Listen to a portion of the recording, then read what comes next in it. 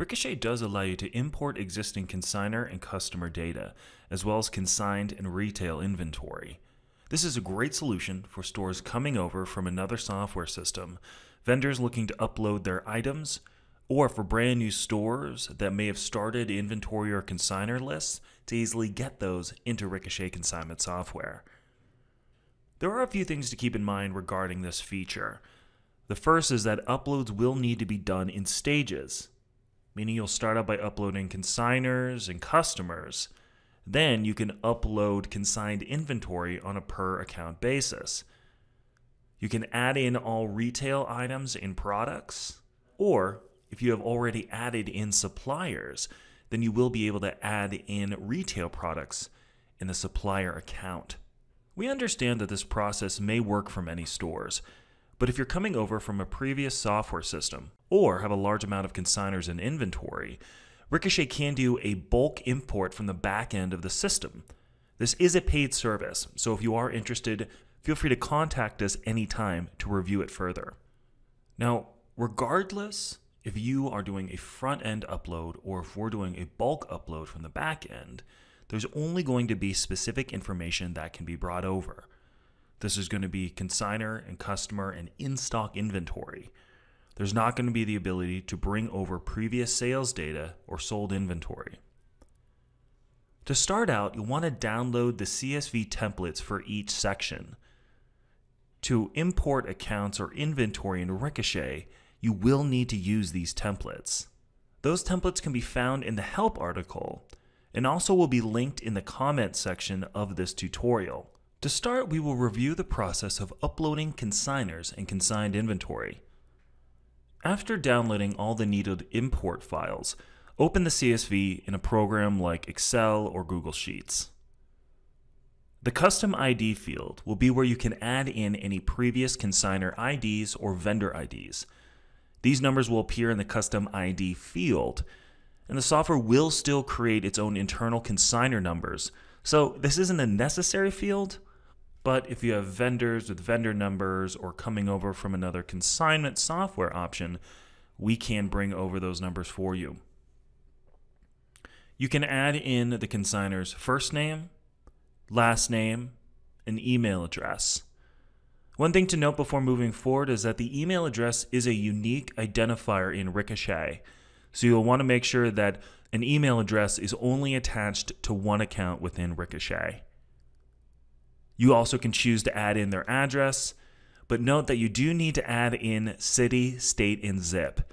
You cannot upload partial addresses. You can add in the consigner's phone number, then set their default split. This is the split that will be added to all of their items by default when adding in inventory or when importing inventory. Add the commission split amount that the consigner will be receiving. And if this split is not currently available in Ricochet, Ricochet will create the split automatically. Once you've completed the import file, then you can go to your Ricochet account, go to Accounts, then click More and Import. The import module will be pulled up, and you can click the Import field to bring up your File Explorer, or drag the document from your dashboard into this module. If you'd like these consigners to appear in your customer list, then you can check the consigners are also customers checkbox, then click Import. If you upload any accounts with duplicate emails, then the duplicates will not be uploaded, and the software will email the user a list of consigners or customers that did not get uploaded. This list will go to the email attached to the user account currently doing the import. Once the import is completed, the consigners will have been added to your consigner list and customers if that was selected. If you'd like to upload a separate customer list, simply go to Customers, click More, then Imports, and repeat the same process. Keep in mind that when uploading your customer list the commission split field is not a necessary field. Inventory can be uploaded within the consigner's account. Access a consigner's account, then go to the Inventory tab, click More, then click Import. Before we can do an inventory upload, we will review the consigned inventory template. If the items you are uploading have a SKU or UPC code, then you can add those to the SKU field.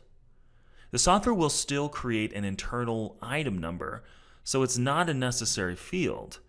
And duplicate SKUs cannot be uploaded. Similar to duplicate accounts, a list of duplicate SKUs will be emailed to the user after the import. So really just focus on adding in a SKU or UPC into this field if you're coming from a previous system and this item already has a barcode. Then you can add the title and short description into the description field. Next, you can add in a web description if you're planning on selling the item through the Ricochet web store, as well as add in a price, quantity, in stock date, category, and brand.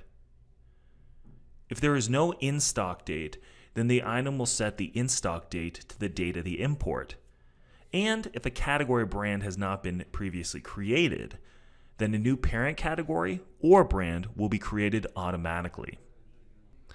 We do suggest avoiding using special characters like quotes and brackets because these can cause issues with the import, especially when dealing with categories or brands. So, once again, when we're back inside the consignor's account, we'll go to their inventory tab, click the More button, and click Import. At the Import Inventory for Consignor tab, you can once again click the module to upload the CSV or drag it into the module, then hit import.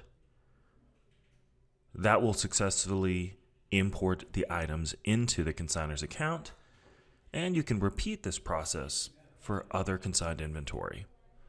Now, if you do want to allow vendors to not only add in their items, but be able to import them into their vendor login, this is available.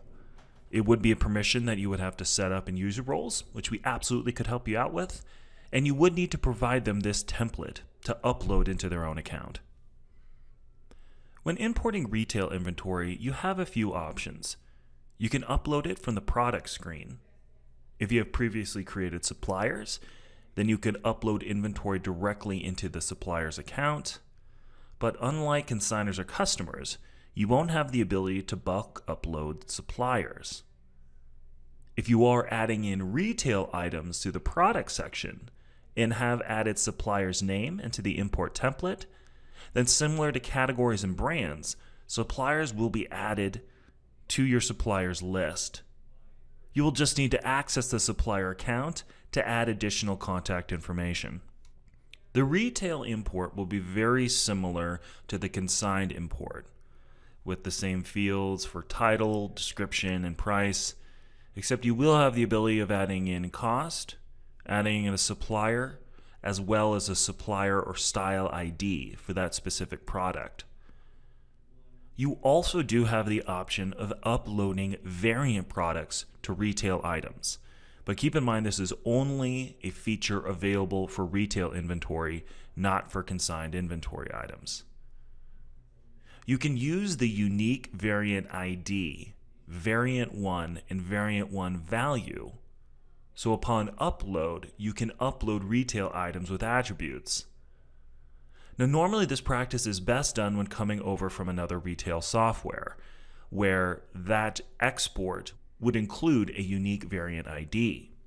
If you're not coming over from a previous retail system, or if that system has not provided a unique variant ID, then the best practice would be to add items with variants in manually through the front end of the system rather than import. But we will go through the process for your own knowledge. Each item variation will be its own line item, with only fields like quantity and price being updated for each variation. The unique variant ID the unique variant ID, which is normally provided from previous retail software, is a number that is unique to the item itself, and it is used to tell the system to group these items together. If you're manually creating this ID, then create a number that is unique to the item itself. Next, you'll need to add in the variant title. This would be something like clothing or ounce size. Then you can add in the variant values in the next column. The variant value will be unique to each item, where the unique variant ID and variant title will remain the same. If the item has multiple variants, then you can repeat the process of adding variant and variant values. If variants have not been added into the software previously, then they will be added automatically, similar to categories or brands. At this point, you can go to the More button, click Import, and do the import the same way that we've done with consigned inventory and consigned items. And of course, if there are any duplicate SKUs added to this list, those items will be emailed to the user after to let them know that they have not been imported.